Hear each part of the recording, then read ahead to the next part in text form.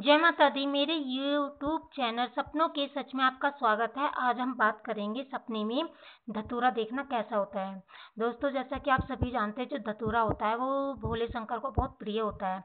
और जब सावन के दिन होते हैं, सावन में जब भी और या मतलब शिवरात्रि होती है या शिव चौदस होती है तो उसमें धतूरा भोले शंकर को चढ़ाया जाता है। कहा जाता है कि ही मतलब अच्छा माना जाता है और सभी मनोकामना पूरी होती है, अगर भगवान को हम धतूरा चढ़ाते हैं।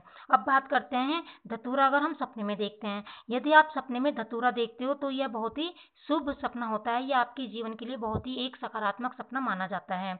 अगर आपने सपने में धतूरा देखा है, आप धतूरे को देखते हो, आप मंदिर में चढ़ाते हुए देखते हो, या आप देखते हो खरीद के लेके आए हो, या आप पूजा करते समय देखते हो, या आप किसी भी स्थिति में धतूरे का पेड़ देखते हो तो ये सपना एक बहुत ही सकारात्मक सपना होता है। इस इसका अर्थ होता है कि आने वाले समय में या भविष्य में आपकी जो भी परेशानी होगी मतलब कि आने वाले समय में भविष्य में आपके सभी संकटों से आपकी रक्षा होगी।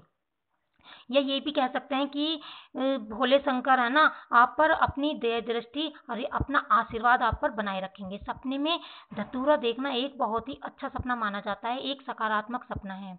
और कहने का अर्थ यही है दोस्तों कि यदि आपने सपने में धतूरा देखा है तो ये एक बहुत ही, बहुत शुभ सपना माना जाता है।